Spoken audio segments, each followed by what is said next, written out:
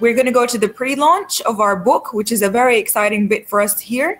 Uh, we have uh, Dr. Susan Karamanian from uh, Hamad bin Khalifa University, the Dean of College, uh, the Dean of the College of Law. Thank you so much for joining us, Dr. Susan. I'll leave it to you. Great. Um, thank you so much, Reem, and uh, good morning uh, from Doha. we are 100, under 100 days away from the World Cup. and it gives me great pleasure to be able to talk about something other than uh, sports uh, emanating from the Middle East and one that has a strong link to um, Australia. Um, first, before I share insight into the project, um, I'm delighted to participate in this AustArab uh, uh, sponsored by Flinders University. And uh, many thanks to uh, Professors uh, Vivian Bren and also to Hussein Esmaili for their hard work in, the, in making this event possible and also uh, for inviting me to participate.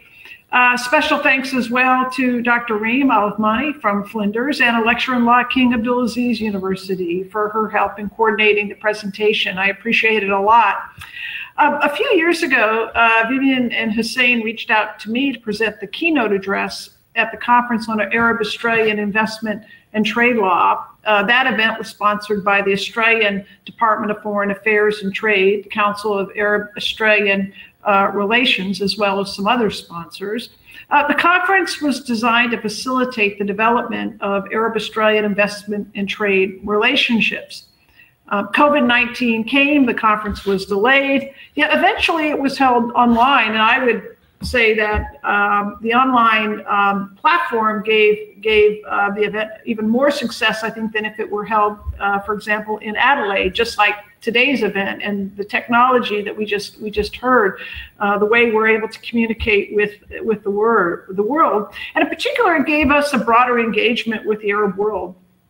So speakers and participants shared their, their knowledge on a variety of legal issues relevant uh, to the Middle East and Australia in an effort to uh, promote understanding, reduce legal cultural barriers. Uh, at the event, a wide range of subjects were, were covered, uh, ranging, you know, for example, from financial fintech regulation, corporate accountability in the area of climate change, regulation of autonomous vehicles and other disruptive technologies, and dispute re resolution, including arbitration and transborder insolvency. Um, through our interaction, uh, Vivian and Hussein then took the concepts discussed and analyzed at the conference to their logical uh, conclusion. Uh, the publishing of, of, a book on the general conference theme along with uh, its extension uh, beyond the region. And so today we are pre-launching uh, the international trade with Middle East and North Africa, uh, legal, commercial, and investment perspectives. And this will be published by Routledge Press as one of the Routledge monographs. And uh, I'm very delighted to join Vivian and Hussein as a co-editor. And we're so grateful for Dr. Uh, Reem Alouthmani's help with, with the book too. I think that we want to step back and say why this book. I, I was just, you know, in listening to the earlier presentations and the role of technology, and and Hussein did say, well, we have a, a book as as well to, to, to completely understand uh, developments. I think it, it takes all types of, of platforms, and uh, traditional books are, uh, I think, included uh, um, one uh, among among them.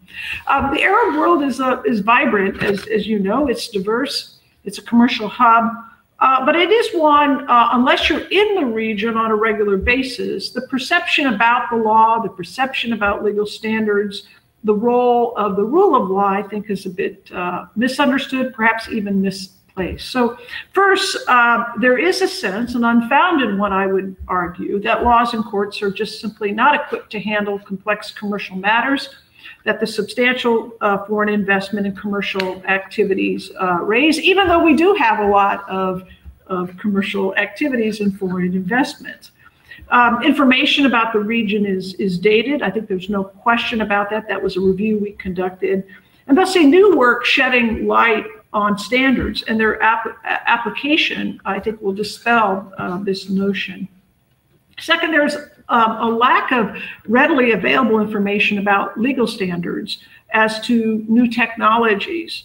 Um, I work in Education City here in Qatar. You only need to, to walk around campus and see the emergence of path-breaking research in the areas of artificial intelligence. We just we just heard about algorithms um, and area of precision medicine, and to appreciate uh, the importance of having a grasp on how the law will uh, address uh, emerging technologies.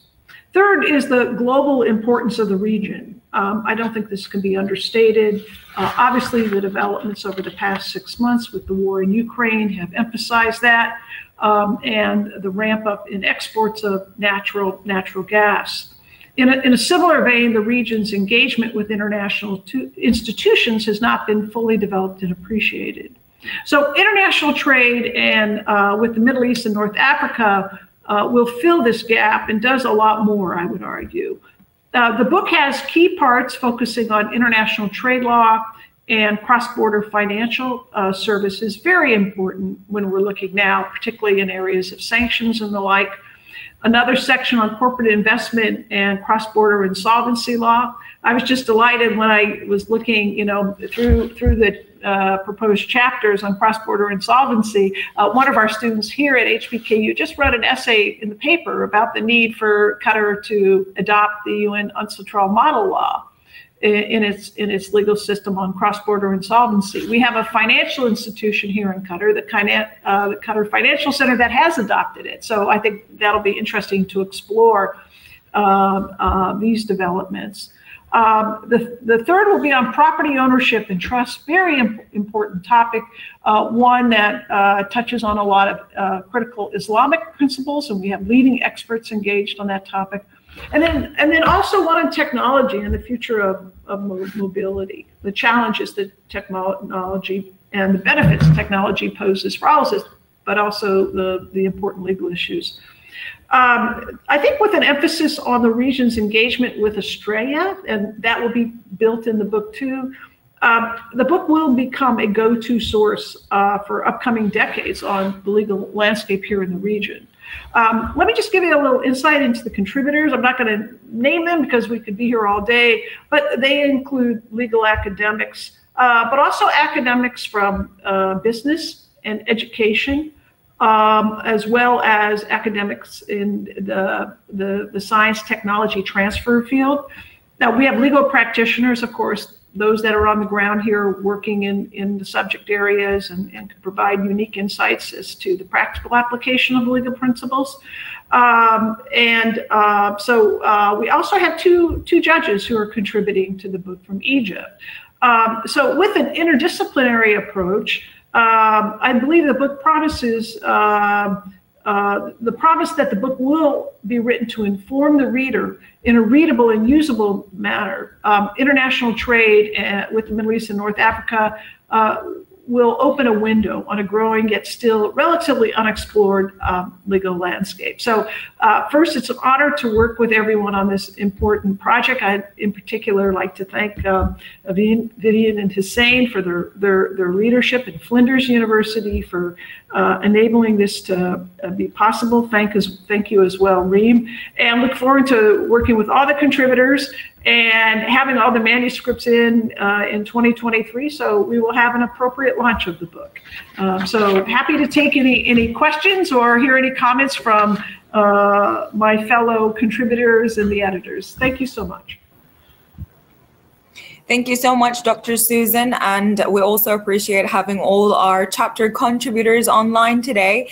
Um, and if you do have any questions about the book, just pop them in the Q&A live and we'll come back to them at the end of the uh, today.